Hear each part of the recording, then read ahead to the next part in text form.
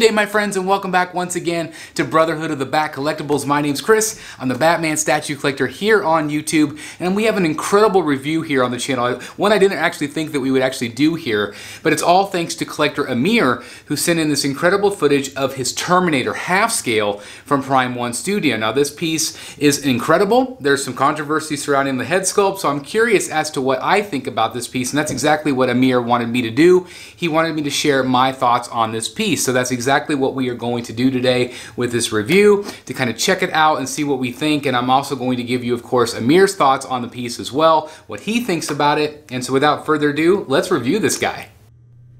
All right, guys, so here we go. We're going to dive right in. And again, this is a monster of a piece. It is half scale, and of course, it is from the first Terminator film. This is T800 and there, there are basically two different versions that we're going to be looking at today. Um, I know uh, from Amir, he said that this piece is very, very impressive. He was very, very happy overall with this piece.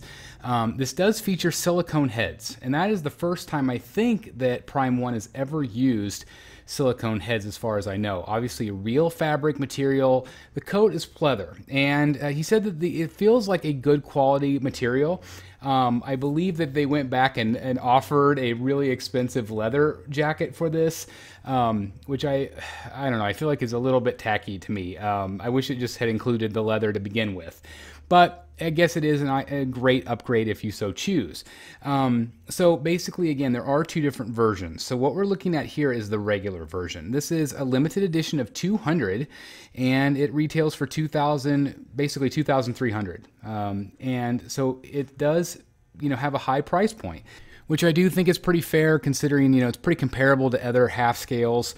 Um, obviously, this one being the silicone, it does have a light up feature in the head, which is also pretty cool. Um, I think the likeness is good. Again, this is from the first film, so obviously it's, you know, a little less Arnold to me uh, than the, like the T2 versions.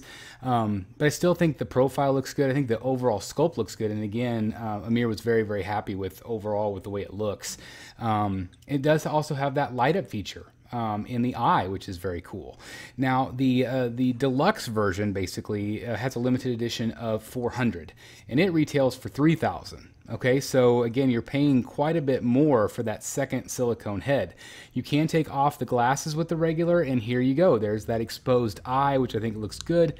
Again, it, it's a younger Arnold, so it's not perfect. And again, I feel like with the glasses, it looks way more like him than without. But I still feel like that does capture that early Arnold look. I'm just not a big fan of these silicone heads.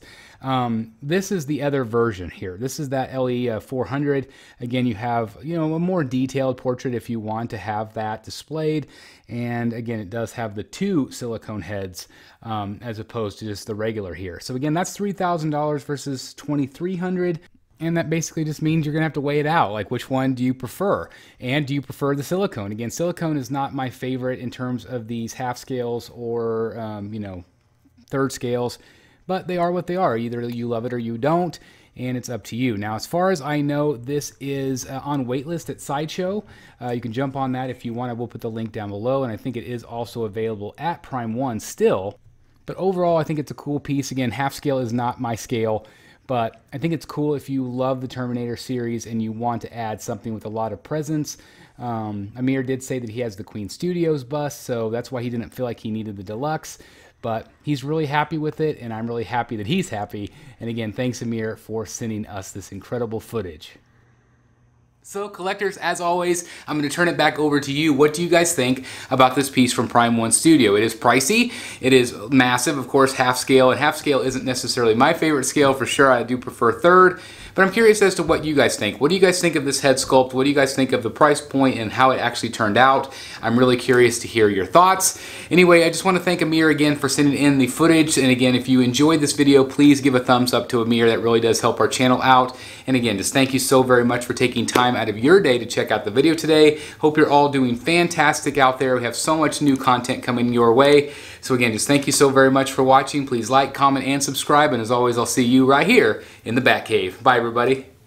Hey guys, thank you so very much for watching today. And if you're new here, please hit the subscribe button right here on the screen and check out these two awesome videos. I think you're going to love them. And also please join us on social media, Facebook, Twitter, Instagram, and TikTok. I would love to have you join in all the fun. Thank you guys so very much for watching. See you in the Batcave.